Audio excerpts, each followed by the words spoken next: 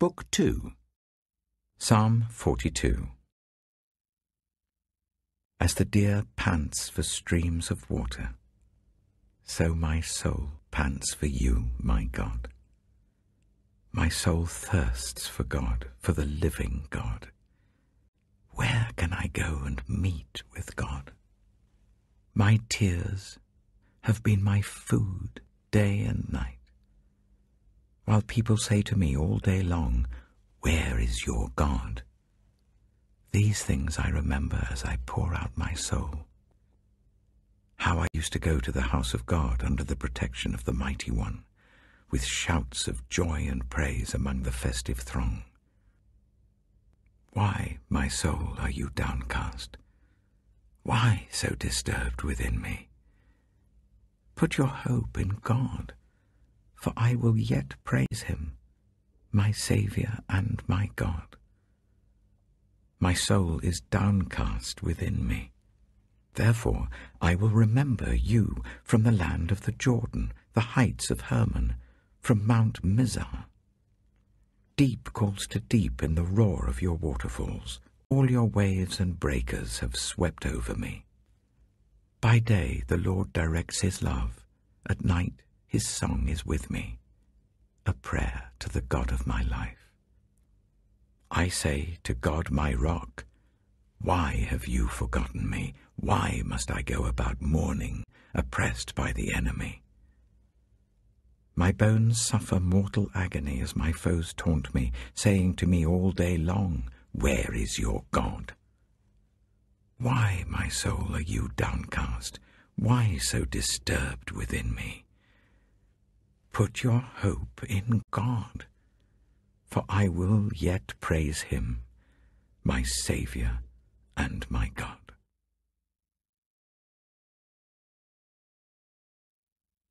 Psalm 43 Vindicate me, my God, and plead my cause against an unfaithful nation. Rescue me from those who are deceitful and wicked. You are God my stronghold. Why have you rejected me? Why must I go about mourning, oppressed by the enemy? Send me your light and your faithful care. Let them lead me. Let them bring me to your holy mountain, to the place where you dwell.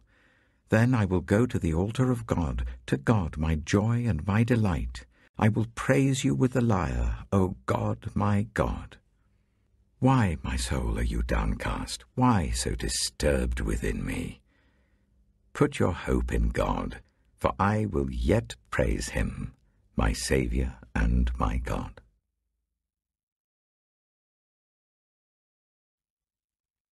One Corinthians chapter thirteen. If I speak in the tongues of men or of angels, but do not have love, I'm only a resounding gong or a clanging cymbal. If I have the gift of prophecy and can fathom all mysteries and all knowledge, and if I have a faith that can move mountains, but do not have love, I am nothing. If I give all I possess to the poor, and give over my body to hardship, that I may boast, but do not have love, I gain nothing. Love is patient Love is kind. It does not envy, it does not boast, it is not proud. It does not dishonor others, it is not self-seeking, it is not easily angered, it keeps no record of wrongs. Love does not delight in evil, but rejoices with the truth. It always protects, always trusts, always hopes, always perseveres. Love never fails. But where there are prophecies, they will cease. Where there are tongues, they will be stilled. Where there is knowledge, it will pass away. For we know in part, and we prophesy in part. But when completeness comes, what is in part disappears. When I was a child, I talked like a child. I thought like a child. I reasoned like a child. When I became a man, I put the ways of childhood behind me. For now we see only a reflection, as in a mirror. Then we shall see face to face. Now I know in part. Then I shall know fully, even as I am fully known. And now these three remain faith, hope, and love. But the greatest of these is love.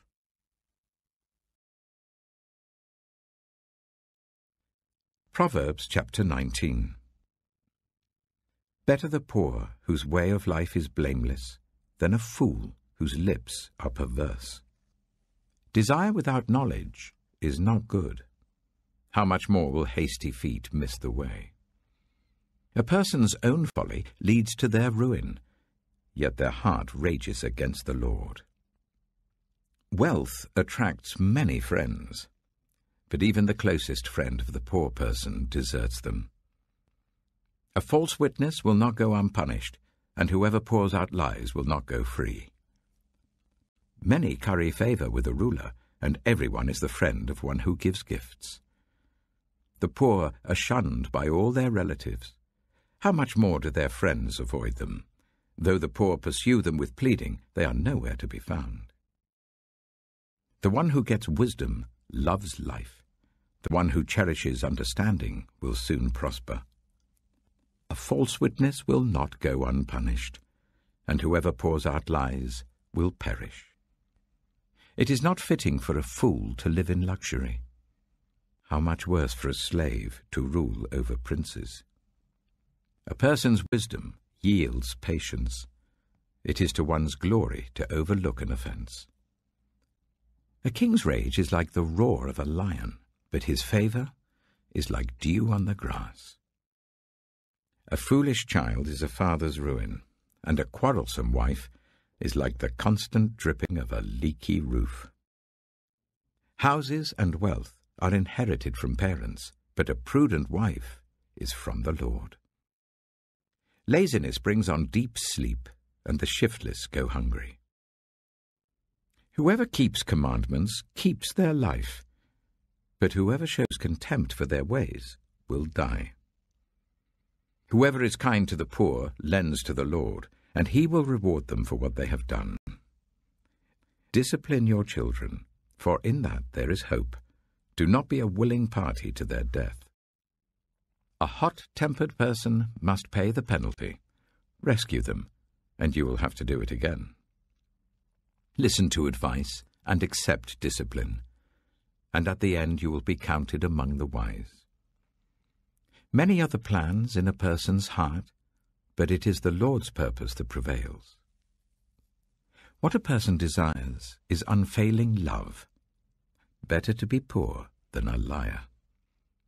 The fear of the Lord leads to life, then one rests content, untouched by trouble. A sluggard buries his hand in the dish he will not even bring it back to his mouth. Flog a mocker, and the simple will learn prudence. Rebuke the discerning, and they will gain knowledge. Whoever robs their father and drives out their mother is a child who brings shame and disgrace. Stop listening to instruction, my son, and you will stray from the words of knowledge. A corrupt witness mocks at justice, and the mouth of the wicked gulps down evil. Penalties are prepared for mockers, and beatings for the backs of fools.